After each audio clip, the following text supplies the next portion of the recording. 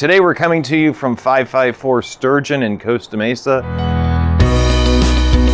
This is one of the biggest homes to hit this track in ages. It's almost 2,900 square feet. As you can see, we're standing outside with this beautiful studio unit that's got a three-quarter bathroom in it. This is quite a very intimate backyard. Just, it feels like you're at a gingerbread house.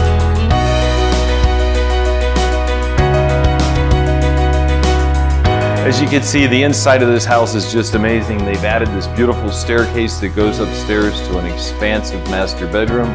There's a three-quarter bath upstairs, along with a family room or another bedroom upstairs. Please stop by soon and take a look at this home as we don't anticipate it lasting long.